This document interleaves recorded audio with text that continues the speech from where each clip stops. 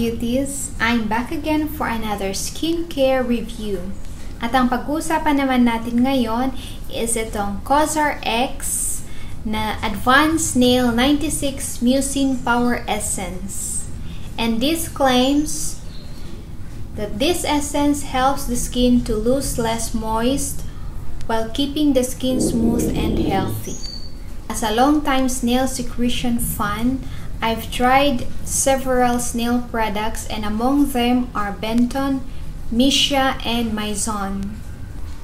After hearing all the raves about the COSRX Snail Mucin Essence, I decided to give it a try. COSRX Advanced Snail Mucin is the snailiest of all the snail products na nasubukan ko. And I love it because it suits all skin types. And guys, ito ay ginagamit after cleansing, toning, and before serum or moisturizer. SRX Advanced Snail 96 Mucin Essence has 96% snail filtrate, so it's almost pure snail goo. Having said that, it maximizes the chances of enjoying all the benefits of a snail filtrate, and that is to provide a nutrient packed hydration to the skin. And that is exactly what it does. As you can see, I, I am almost through with this bottle. This is my second bottle of this product. Ayan, malapit ko na siyang maubos. And I am going to repurchase this again. So, okay guys, ipapakita ko sa inyo yung snail mucin ng Cosar X. And here it is.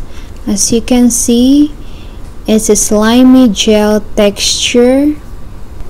And guys, it is also quite stringy. Ayan siya.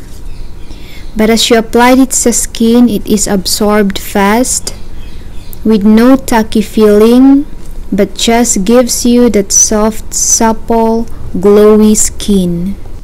Based sa aking experience sa paggamit ng mga snail products, ito yung best of the best snail products. I am a believer of hydrated skin is healthy skin, so I love hydrating products like this one.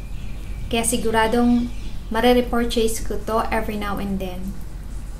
Hindi siya nakakatulong for brightening or yung pag-alis ng pimple marks pero really when it comes to hydration it does the job well.